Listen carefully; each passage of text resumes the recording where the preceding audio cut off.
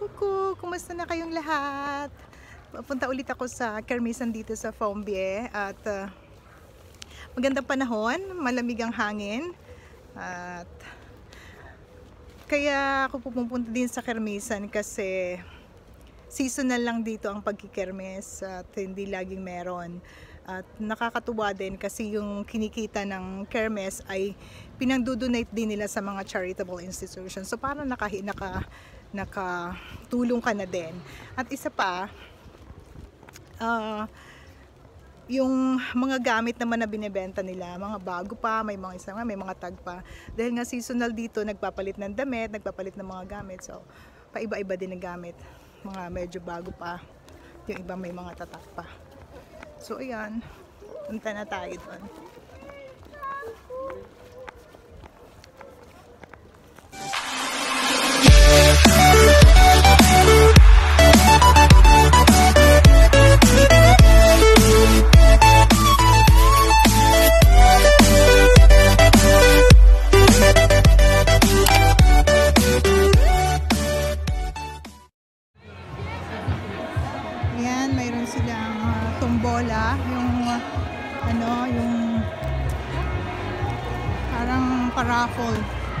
2 euro ang isang ticket.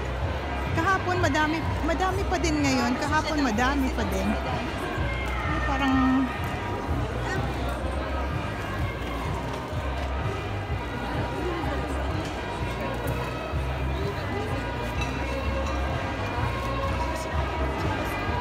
Ay, ito mga bago to. Mga bago.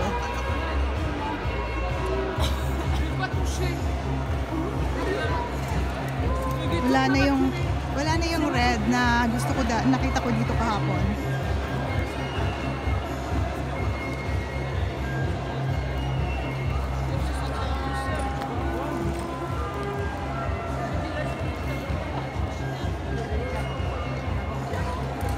Kakalkal na muna ako. Tingnan natin kung may mga dress na magaganda. Alam ko dito may cup and saucer na maganda. Wala na.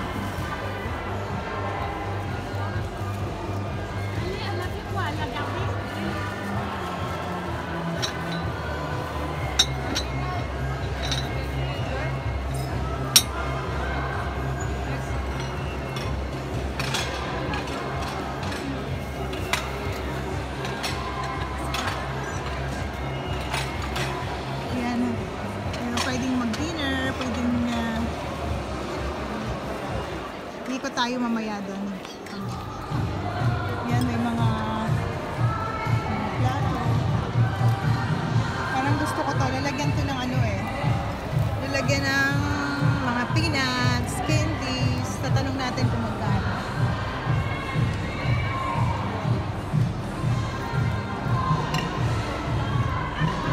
Ang maganda dyan kasi pwede mong gamitin tong isa. Tindera dito? May mga libro din doon. May mga pang display. Kaso, bibilhin ko na muna ito. Baka makuha na iba. Yan, nakabili na ako. Bumigat na dala ko. Tingnan ko pa ulit yung ano, mga kumot-kumot. Ito mga libro, pero ano kasi puro French eh. Tugtog nila, Born to be Alive. Yan, may mga pagkain.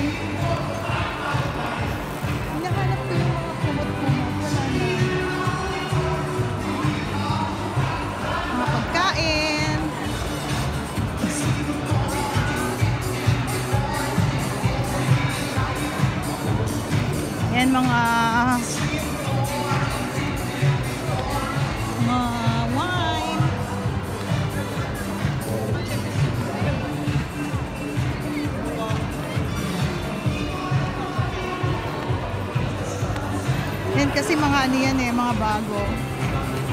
Kaya medyo mahal. 14 euros. Mahal kasi bago. Yan, mga bago. Yun, mga panglalaki naman doon. Pero sa kanan. Tinitingnan ako dito.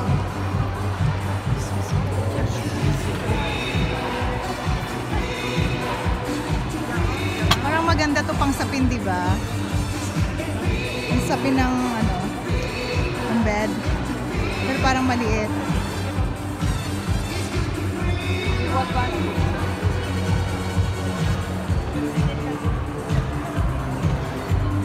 Ano natin to? Pag plinansya to, gaganda to.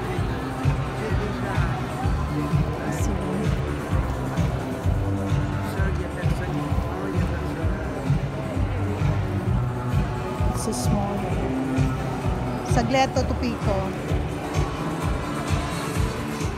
Andito na ako ngayon sa bahay at ipapakita ko sa inyo yung aking naukay-ukayan sa Fombie. Kahapon nakabili ako ng mga skirt. Skirts, di ba ang ganda? Tig, tig, tig, tig uh, 2 euro lang pang trabaho ko kasi pag sa trabaho naman, hindi ako masyadong nagsusuot ng mahahaba. Ito, tama to pang trabaho. Tsaka ang gaganda ng kulay, di ba? Pang winter. Ito pwedeng, pwedeng ngayon, spring. Tapos,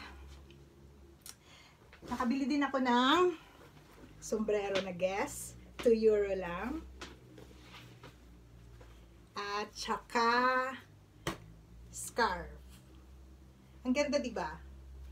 2 euro lang din. Ganda. Tcharam! Diba? Pang para sa blue na ano. Yan. Yan. 2 euro lang yan. And then ito, kahapon nakita ko to. Kasama ng mga, nakabili ako ng mga kumot. Parang, parang, sabi ko parang magandang gawing ah, punda. Ito oh, bago pa siya. Titingnan yung kulay. Nabit ko to ng 3 euro. Ito. Tapos ito din. Parang magandang gawing punda. 3 euro din. Tapos ito, nakita ko to kahapon, pero hindi ko kinuha kasi hindi ko naman iniisip na ma- may paggagamitan ako. Ano to, mantel sa mesa. Ang ganda niya, di ba? Yung kulay niya, nagustuhan ko yung mga bulaklak. Ayan o.